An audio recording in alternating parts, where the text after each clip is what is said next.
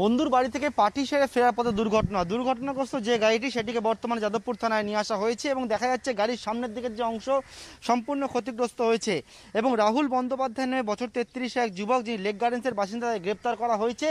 যাদবপুরের রাজা এসসি মল্লি রোডের ওপরে রাত্রেবেলা একেবারে সাড়ে দশটার সময় দুর্ঘটনাটি ঘটে এবং যারা রাস্তায় সেই সময় উপস্থিত ছিলেন তার মধ্যে একজন পথচারী ছিটকে গিয়ে গাড়ির সামনের যে কাঁচের যে অংশ সেইখানে গিয়ে পড়েন এবং আরও যে ছজন ছিল আশেপাশে তাদেরকেও কিন্তু ইনজিওর্ড করা হয় এবং একাধিক মানুষ আহত হন, তার মধ্যে একজন অবস্থা আশঙ্কাজনক। এই যে গাড়িটি চালাচ্ছিলেন রাহুল বন্দ্যোপাধ্যায় এবং যেমনটা বলা হচ্ছে, পুলিশের তরফ থেকে তিনি নেশাগ্রস্ত অবস্থায় ছিলেন, মত্ত অবস্থায় ছিলেন। সামনের দিকে এবং পিছনের সারিতে আসনে তার এক বন্ধু এবং এক তরুণী ছিলেন।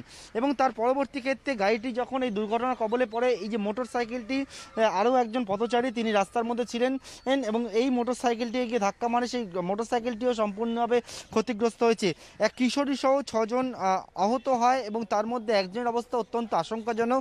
রাহুল বন্দ্যোপাধ্যায়ের বিরুদ্ধে যেমনটা জানা যাচ্ছে যে তার বিরুদ্ধে সজ্ঞানে অনিচ্ছাকৃত খুনের ধারায় মামলা রুজু করা হয়েছে, খুনের চেষ্টার ধারায় মামলা রুজু করা হয়েছে এবং একাধিক ধারায় মামলা রুজু করা হয়েছে। যেমনটা পুলিশের তরফ থেকে বলা হচ্ছে যে মদ্যপান করে বেপরোয়াভাবে গাড়ি চালানো হচ্ছিল এবং তার জন্য কিন্তু এই দুর্ঘটনাটি ঘটে।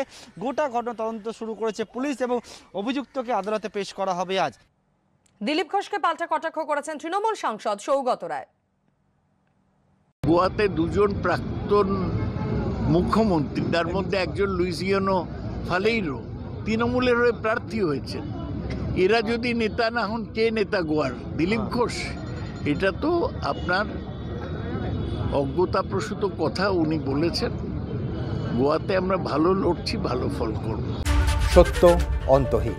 সত্যের খোঁজও তাই। সত্য সন্ধানে তাই আমরা অক্লান্ত অকুতভয়। এবিপি আনন্দ নতুন ভাবনার প্রতীক, যা মনে মুক্ত, তথ্যে যুক্ত এবং যাবতীয় সীমানার বাঁধন থেকে মুক্ত। সীমা না, শব্দটির মধ্যে লুকিয়ে আছে মানা শব্দটি, যেন চোখ রাঙানি, এক অদৃশ্য বেড়াজাল, যা আটকে রাখে আমাদের এক ছোট্ট গণ্ডির মধ্যে। একমাত্র সঠিক খবরই গড়ে তুলবে এক মুক্ত সমাজ। সেই জগৎ গড়ার লক্ষ্যে কোনো সীমানার ঠুকুটি আমরা মানব না। এবিপি আনন্দ। এগিয়ে থাকে এগিয়ে রাখে।